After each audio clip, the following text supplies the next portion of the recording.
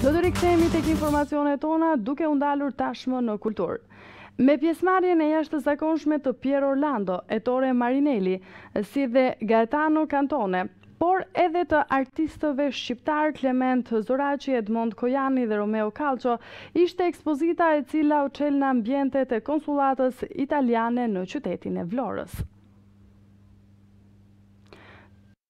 Racconti dalla terra verso il mare, me pjesëmarrjen e artistëve Pier Orlando, Ettore Marinelli dhe Gaetano Cantone, por edhe të artistëve shqiptarë, Klement Zoraqi, Edmond Kojani dhe Romeo Kalço, ishte ekspozita e çelur në ambientet e Konsullatës Italiane në Vlorë, me mbështetjen kryesore të Konsullatës së Italisë. Tema e ekspozitës lançohet në rëndësinë që rrënjët familjare marrin në krijimtarinë artistike, si shprehje e traditave dhe territorit të cilit i përkasin. Në hapje të aktivitetit Konsullata e Italisë në Vlorë, Luana Misheli, ka theksuar se kjo ekspozitë do të ketë tematika të ndryshme si art, pikturë, skulpturë, muzikë, teatër, fotografi, hartografi dhe do të prekë edhe tema të ndryshme si shtrëngimi dhe edukimi i të rinjve në furnizimin e qëndrueshmërisë falë bashkëpunimit të zyrës së shkollave me ambasadën italiane në Tiranë dhe projektit Iliria.